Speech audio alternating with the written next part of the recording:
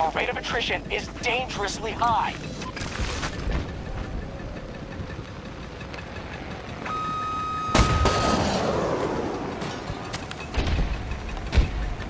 We're losing ground. Not many defensible positions remaining.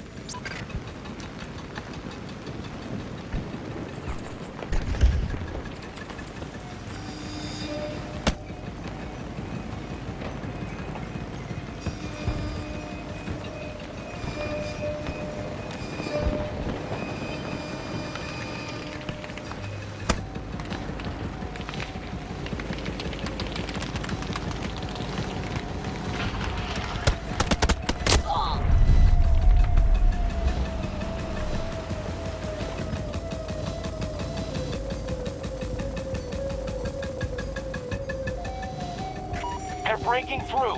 We must change our str-